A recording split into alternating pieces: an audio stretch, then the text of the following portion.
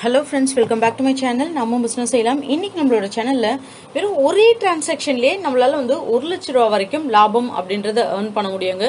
அது மட்டும் இல்லாமல் இதோட இன்வெஸ்ட்மெண்ட்ஸ் கேட்டிங்க அப்படின்னா இதில் ஒரு பங்கு கூட கிடையாது நம்ம ஏர்ன் பண்ணுறதுல அவ்வளோ கம்மியான இன்வெஸ்ட்மெண்ட்ஸில் நம்மளால இந்த பிஸ்னஸ் எடுத்து பண்ண முடியும். ஜஸ்ட் ஒரு ரீபேக்கிங் தான். பட் ரீபேக்கிங் பிஸ்னஸாக இருந்தாலும் ஒரு ரெண்டு நபர்கள் உங்களுக்கு இருந்த இருந்தாங்க அப்படின்னா இந்த இன்கம் நீங்கள் அச்சீவ் பண்ணுறதுக்கு ஒரு சப்போர்ட்டிவாக இருக்கும். ஸோ ஒன் டைம் நீங்கள் வந்துட்டு இந்த ஒரு ப்ராடக்டை வாங்கிட்டீங்க அப்படின்னா அதுக்கப்புறம் அதுலேருந்து வரக்கூடிய வருமானம் எல்லாமே உங்களுக்கு லாபம் தான் நீங்கள் இன்வெஸ்ட் பண்ண அமௌண்ட் இவ்வளோ கம்மியான அமௌண்ட் இன்வெஸ்ட் பண்ணி நம்மளால இந்த லாபம் எடுக்க முடியுமா அப்படின்னு சொல்லிட்டு நீங்களே ஆச்சரியப்படத்தக்க அளவுக்கு இந்த ஒரு இன்கம் உங்களுக்கு இருக்கும். ஸோ இது என்ன டைப் ஆஃப் பிஸ்னஸ் எப்படி இதை ரீசைக்கிங் நம்ம ரீபேக்கிங் பண்ணலாம் அப்படின்றத பற்றி பார்க்கலாம். அதே போல் இப்போ தான் ஃபர்ஸ்ட் டைம் நம்மளோட சேனலில் பார்க்குறீங்க இன்னும் நீங்கள் சப்ஸ்கிரைப் பண்ணலன்னா திடீர் ரெட் கலர் பட்டனை ப்ரெஸ் பண்ணி சப்ஸ்கிரைப் பண்ண மறக்காதீங்க. அப்படியே பக்கத்தில் உள்ள பெல் ஐக்கனை கிளிக் பண்ணிடுங்க. ஸோ தட் நான் போடுற வீடியோஸ் உங்களுக்கு ரெகுலர் அப்டேட்ஸாக கிடச்சிரும். கான்செப்ட்குள்ளே போயிடலாம். மெட்டல் ஷைனிங் பவுடர் நார்மலாக வந்து பார்த்தீங்க அப்படின்னா மெட்டல் ஷைனிங் பவுடர் அப்படின்றது நம்ம கொஞ்சம் ஒரு ஃப்ரீக்வெண்ட் இயர்ஸ்க்கு முன்னாடி தான் இது ரொம்ப ஃபேமஸ் ஆச்சு. நிறைய மேனுஃபேக்சரர்ஸ்லாம் உள்ளே வந்தாங்க நிறைய பிராண்ட் எல்லாம் உள்ளே வந்தாங்க. எத்தனை பேர் உள்ளே வந்தாலும் என்ன ப்ராடக்ட் வந்து குவாலிட்டியாக இருக்கோ அந்த ப்ராடக்ட் தான் மார்க்கெட்டில் மூவ்மெண்ட் ஆகும். அதுவும் இப்போ மக்களிடையே பார்த்தீங்க அப்படின்னா இந்த மாதிரியான ப்ராடக்ட்ஸ்லாம் மூவ்மெண்ட் ஆகணும்னா அதை வாங்கி அவங்களோட ரிவ்யூஸ் இருக்குது அது அது தொடர்ந்து நல்லா இருக்குது அப்படின்னும் போது தான் அடுத்தடுத்து வந்து அதை பயன்பாட்டுக்கே வந்து எடுத்துப்பாங்க. ஸோ அந்த மாதிரி வகையில் இந்த ஒரு ப்ராடக்ட் வந்து மக்களிடையே நல்ல ஒரு வர வரவேற்பு. ஏன்னா நம்ம வீட்டில் இருக்கக்கூடிய வெறும் பித்தளை பாத்திரம் காப்பர் பாத்திரம் அந்த செம்பு பாத்திரம் இது வச்சு இதை மட்டுமே ஷைனிங் ஆக்கும் அப்படின்னு நினைச்சவங்க அது இல்லாமல் அலுமினியம் அயன் சில்வர் இந்த மாதிரி எல்லா விதமான பாத்திரத்தையும் நம்மளால வந்து ஈஸியாக க்ளீன் பண்ண முடியும். அது மட்டும் இல்லைங்க ஹோல்சேலில் வாங்கினோன்னா வெறும் முப்பத்தஞ்சு ரூபா தான் இது ஒரு கிலோ. ஆனால் இதை வந்து ரீட்டைல் மார்க்கெட்டில் ஒரு கிலோ எட்நூறுவா வரைக்கும் சேல்ஸ் பண்ணுறாங்க ஸோ நம்ம எப்படி இதை ரீபேக்கிங் பண்ணலாம் அப்படின்றத பார்க்க போகிறோம் மெட்டல்ஸ் அப்படின்னு எடுத்துக்கிட்டோம்னா copper brass aluminium iron silver steel articles எல்லாமே எல்லாமே வந்து பார்த்தீங்க அப்படின்னா ரொம்ப ஸ்டபானான கரைகள். இப்போ எண்ணெய் கரையை பார்த்தீங்கன்னா ரொம்ப ஸ்டபானாக பிடிச்சிருக்கும். நம்மளால எண்ணெய் தேய்ச்சாலும் வந்து அழுக்கு உங்களுக்கு அந்த போயிடும் அந்த பிசு பிசுப்பு கூட போயிடும். ஆனால் அந்த ஷேடு கலர் வந்து பாத்திரங்கள்ல மாறாது. இப்போ நம்ம வந்து செம்புல பயன்படுத்தக்கூடிய பாத்திரத்துக்கு இந்த மாதிரி ஒரு வாஷ் பண்றதுக்கு டிஷ் வந்துருச்சு நமக்கு.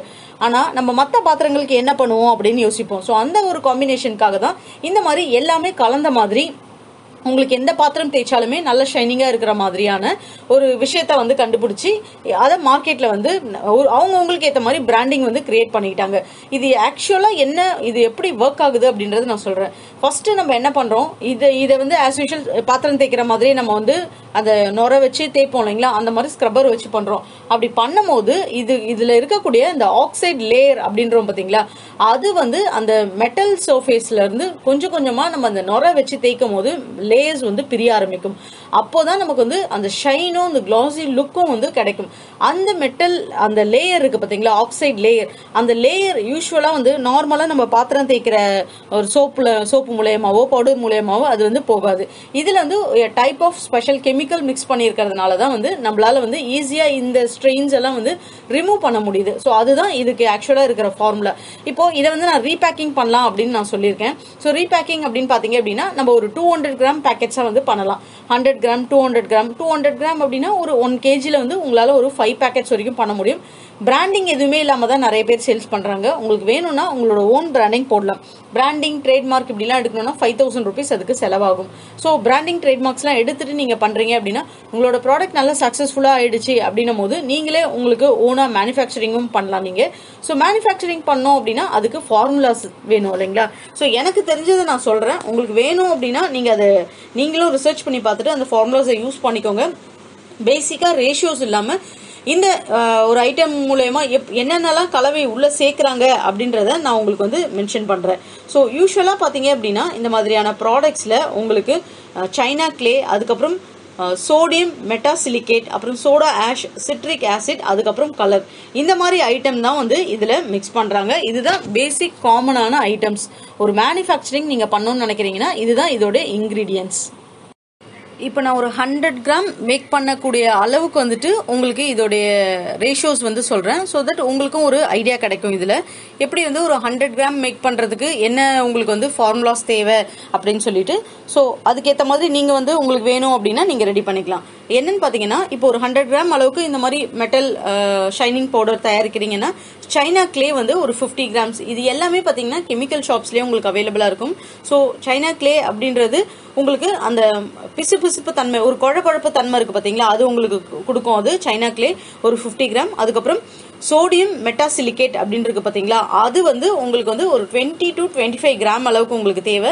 சோடியம் கார்பனேட் அப்படின்றது உங்களுக்கு ஒரு இருபதுலேருந்து இருபத்தஞ்சு கிராம் உங்களுக்கு தேவை. சிட்ரிக் ஆசிட் அப்படின்றது ஒரு அஞ்சு கிராம் தேவை. சிட்ரிக் ஆசிட் அஃப்கோர்ஸ் தெரியும். அது லெமன் அந்த ஒரு இது இருக்கிறதுனால வந்து உங்களுக்கு லைம் நார்மலாக கரைகள்லாம் போக்குறதுக்கு வந்து பயன்படக்கூடியது தான் சிட்ரிக் ஆசிட் அது அதுக்கப்புறம் உங்களுக்கு எந்த கலர் வேணுமோ இப்போ இண்டஸ்ட்ரியில் ஃபேமஸாக உங்களுக்கு சேல்ஸ் ஆகிட்டு இருக்கு. பிங்க் கலர் அப்படின்னா பிங்க் கலர் யூஸ் பண்ணிக்கலாம். இல்லை நீங்கள் ஒயிட் கலர்லேயே பண்ண விரும்புறீங்க கொடுக்க விரும்புறீங்கன்னா ஒயிட் கலரில் ஏன்னா ஏன் பிங்க் கலரை சூஸ் பண்ணுறாங்கன்னா நம்ம யூஸ்வலாக ஃபஸ்ட்டு இது வந்து வந்து இந்த செம்பு பாத்திரங்கள்.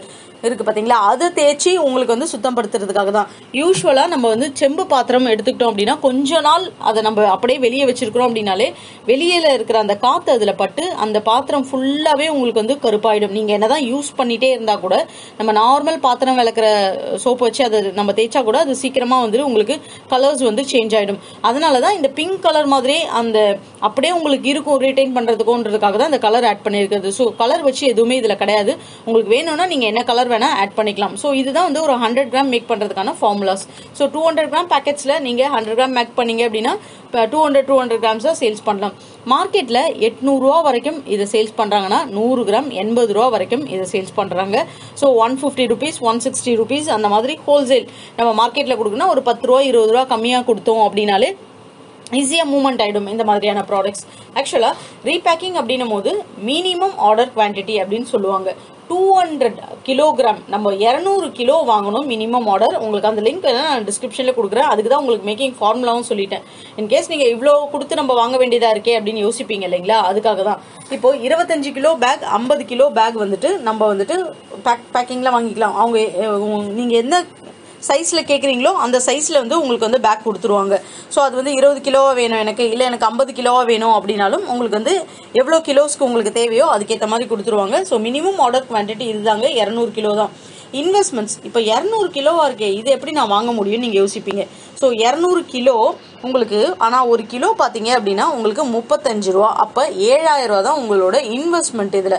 ஆனால் அந்த ஏழாயிரம் ரூபா இன்வெஸ்ட்மெண்ட் பண்ணீங்க அப்படின்னா உங்களுக்கு லாபம் எவ்வளோ வருது அப்படின்றத ஃபர்ஸ்ட் நீங்கள் கால்குலேட் பண்ணுங்கள் இந்த நீங்கள் மார்க்கெட்டில் போயிட்டு நீங்கள் விசாரிச்சு பாருங்கள் ஆன்லைனில் கூட விசாரிச்சு பாருங்கள் இந்த பவுடர் என்ன விலை அப்படின்னு சொல்லிட்டு. சும்மா ஒரு ஐம்பது கிராம் நூறு கிராம் வச்சு எந்த விலை விற்கிறாங்கன்னு சொல்லிட்டு. ஆனால் அந்த விலை விற்கிறதுக்கான வர்த்து தான் இது. கண்டிப்பா நம்ம வந்து ஒரு செம்பு பாத்திரமோ ஒரு பித்தளை பாத்திரமோ அதெல்லாம் வந்து ரொம்ப காஸ்ட்லியான பாத்திரங்கள். நார்மலா நம்ம வீட்டுல புழங்குற பாத்திரங்களை விட்டுருங்க. இந்த மாதிரி பாத்திரங்களை ஒரு ஒரு பாத்திரமும் ஆயிரத்தி ஐநூறுரூவா ரெண்டாயிரம் ரூபா மூணாயிரம் ரூபா கொடுத்து வாங்கியிருப்போம். அதோடைய கலர்ஸ் போயிடுச்சு அப்படின்னா அதை அதை பார்க்கறதுக்கே நமக்கு ஒரு மாதிரி இருக்கும். அதில் திருப்பி நம்ம புழங்குறதுக்கும் ஒரு மாதிரி இருக்கும். அதை ரீட்டைன் பண்ணுறதுக்காக யூஸ் பண்ணுற பாலிஷ்னா அட்லீஸ்ட் அதில் ஒரு சதவீதமாவது அதோட விலை இருக்கும். அதுதான் அதோடைய விலை நிர்ணயிச்சிருக்காங்களே தவிர பேசிக்காக ஒரு ஃபார்முலா படி அதை மேக் பண்ணுறோன்னா அதோடைய விலை வந்து அவ்வளோ அளவுக்கான விலையே கிடையாது. ஸோ நம்ம ப்ராஃபிட் இதில் எப்படி கால்குலேட் பண்ணலாம் அப்படின்னா இரநூறு கிலோ உங்களுக்கு ஒரு பேக் நீங்க எடுக்கிறீங்க ஒரு டைம்ல அப்படின்னா அந்த இரநூறு கிலோல மார்ஜின் அப்படின்னா ஐநூறுரூவாக்கு நீங்க சேல்ஸ் பண்ணுங்க போதும். கிலோ எட்நூறுரூவா வரைக்கும் நீங்க மார்க்கெட்ல போக வேணாம். இப்போ ஹோல்சேலர்ஸ்க்கு கொடுக்குறீங்க அப்படின்னா ஒரு கிலோ வந்து அவங்க ஒரு ஐநூற்றி ஐம்பது ரூபா. அப்படி பிரித்து அவங்க பேக்கெட்ஸ் வந்து கொடுக்கலாம்.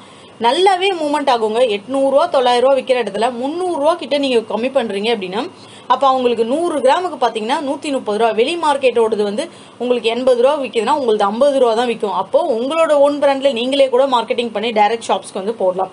நீங்களே வந்து ஒரு டிஸ்ட்ரிபியூட்டராக ஒரு சின்ன வண்டி வச்சிட்டீங்க அப்படின்னா எல்லா கடைங்களுக்குமே வந்துட்டு ஈச் வீக் வந்து ஒரு ஐம்பது கிலோ ஐம்பது கிலோ அந்த மாதிரி பேக்கெட்ஸ் போடலாம். நிறைய இடத்துங்கள்ல இதை யூஸ் பண்ணுறாங்க ஸோ நிறைய விதங்களுக்காக இதை பயன்படுத்துகிறாங்க சிலைகள்லாம் செய்கிறாங்க பார்த்தீங்களா இந்த பித்தளை சிலைகள் இந்த மாதிரி எடுத்து ஸ்டோர் பண்ணி வச்சிருக்காங்க. அந்த மாதிரி இடத்துங்கள்ல இதை கொடுத்தோன்னா சிலைகள் வாங்கிட்டு போகிறாங்க திருப்பி திருப்பி வந்து பயன்பாட்டுக்காக விற்கிறாங்க பார்த்தீங்களா அந்த மாதிரி இடத்துங்களில் இது மார்க்கெட்டிங் நிறைய பேர் அதை எப்படி மெயின்டைன் பண்ணுறதுன்னு கேட்குறாங்க ஒரு சிலை வாங்குறாங்க இல்லை ஒரு பிராஸில் ஒரு பொருள் வாங்குறாங்க பாத்திரம் கடையில்னா இது எப்படிங்க மெயின்டைன் பண்ணுறது இது வந்து கொஞ்ச நாளில் கருப்பாயிடுது. எல்லாம் மக்கள் அவங்ககிட்டயே டேரெக்டாக கேட்குறாங்க அப்போ அவங்க சஜஸ்ட் பண்ணுவாங்க.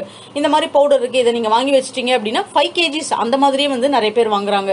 ஸோ ஹோம் யூஸ்க்காக ஒரு ரெண்டு மாதத்துக்காக வரட்டும் ஒரு மாதத்துக்காக வரட்டும் அப்படின்னு சொல்லிட்டு அந்த மாதிரி நீங்கள் ஃபைவ் கேஜிஸ் பேக்ஸ்லையும் வந்து இதை கொடுக்கலாம்.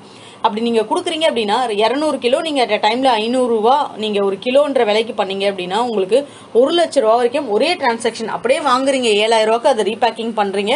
ஒரு மூவாயிரம் ரூபா கூட வச்சுக்கோங்க ரீபேக்கிங் டிரான்ஸ்போர்டேஷன் டிரான்ஸ்போர்டேஷன்ஸ் எல்லாமே. ஸோ இரநூறு கிலோக்கு நீங்க ஐநூறு ரூபா மார்ஜின் வைக்கிறீங்க அப்படின்னாலே உங்களுக்கு தாராளமா ஒரு லட்ச ரூபா வரைக்கும் ஏர்ன் பண்ண முடியும். ஜஸ்ட் ரீபேக் பண்ணி மார்க்கெட் பண்ணும். நீங்க ஓன் ஃபார்முலா வச்சு நீங்க தயாரிச்சாலும் அது உங்களோட விருப்பம்.